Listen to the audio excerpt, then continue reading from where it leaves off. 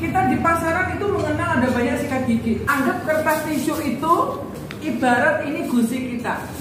Ini aku pakai sikat giginya Pepso ya. Nah, gosokkan aja di tisu.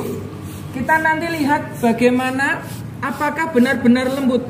Di dalam kemasan sikat gigi ini dibilang super soft.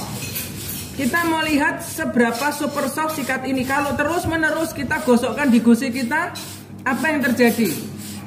Apa Rahma yang terlihat? Robek. Robek. Ya, ini kita mau coba ini juga sikat ini banyak dokter gigi pakai. Ini katanya juga bagus ya. Kita juga mau lihat. Ini lembut. Ini lebih lembut dibanding yang pertama saya coba.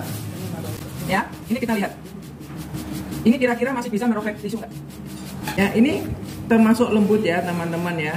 Tapi kita lihat kalau deket bisa lihat. Ini lama-lama tisunya juga menipis. Ya, jadi kita bisa perhatikan bahwa uh, sikat sama-sama dikatakan lembut ya. Nih. Ini tetap juga masih bisa ada robek, tapi tidak secepat ini.